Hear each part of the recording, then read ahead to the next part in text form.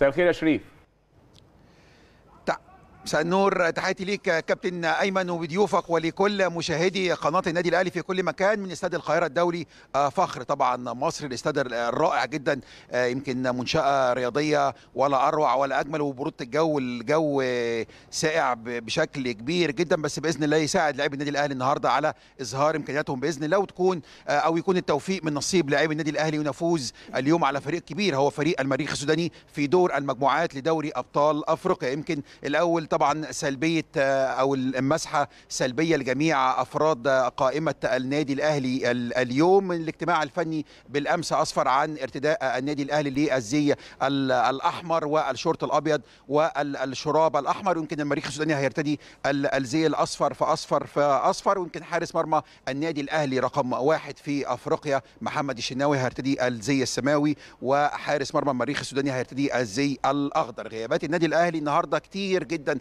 حدث ولا حرج بس بإذن الله الأهلي بمن حضر بإذن الله النهارده يكون لاعبي النادي الأهلي موفقين اللي هيبدأوا بإذن الله ال 11 لاعب حسين الشحات للإيقاف فطاهر محمد طاهر وليد سليمان علي معلول أيمن أشرف صلاح محسن يمكن امبارح مستر بيتسو موسيماني امبارح قبل بداية المران كان في اجتماع فني مع اللاعبين ومحاضرة فنية اتكلم فيها عن نقاط القوة ونقاط الضعف لفريق المريخ السوداني بإذن الله والنهارده كمان على مدار اليوم في فندق الإقامة يمكن على طول كان لاعبي النادي الأهلي حريصين إن يتفرجوا على فريق المريخ السوداني علشان يتعرفوا على نقاط القوة ونقاط الضعف اللي عاد طبعا ليهم آه هذا الفيديو محللين أداء آه النادي الأهلي. ويمكن الجميل للنادي الأهلي النهارده بنشوف امبارح في آه فندق الإقامة كابتنه طبعا وسوبر ستار حاوي النادي الأهلي وليد سليمان كان حريص امبارح يكون موجود مع لاعبي النادي الأهلي علشان يشد من أزرهم ويطالبهم بالتركيز طبعا الكبير جدا عشان مباراة قوية جدا في بطولة أفريقيا. والنهاردة كمان كان موجود أيضا مع لاعبي النادي الأهلي محمد الشناوي وليد سليمان سعد سمير على طول عليهم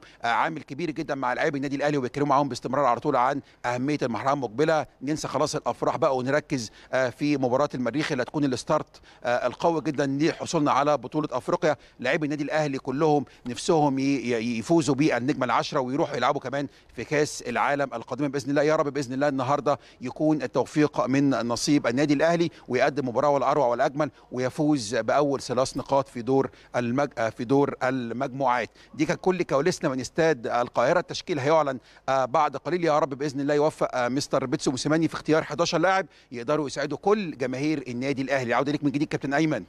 اتفضل. شكرا جزيلا للزميل العزيز شريف شعبان.